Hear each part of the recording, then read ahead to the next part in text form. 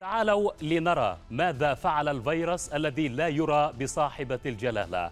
فرغم حاجة الناس الماسة إلى وسائل الإعلام وفي مقدمتها الصحف المطبوعة للتعرف على تطورات انتشار كورونا إلا أن الخسائر التي باتت تتكبدها الصحف دفعتها للتوقف عن الصدور ورقيا.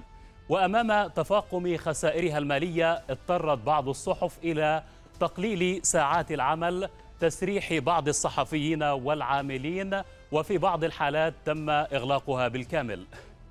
ومن أهم ما فاقم خسائر الصحف الورقية تدهور سوق الإعلانات وهو ما أدى إلى انخفاض الإنفاق عليها بشكل كبير. لكن الضربة القوية التي تلقتها الصحافة الورقية تزامنت مع إجراءات منع طباعتها وتداولها. بعدما أعلنت منظمة الصحة العالمية أن الفيروس يمكنه أن يبقى لساعات طويلة على الأسطح بما في ذلك الورق.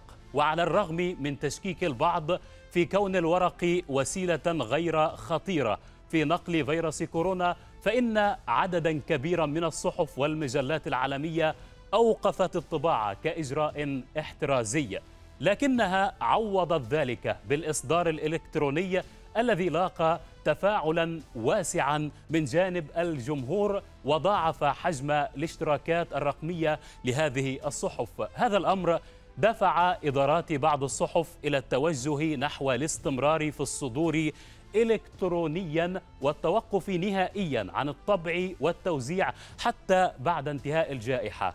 فالصحافة الرقمية ابتعدت بالقارئ عن مخاطر الإصابة بعدوى كورونا كما قدمت له مواد خبرية وتحليلية آنية ومتنوعة وأينما كانت.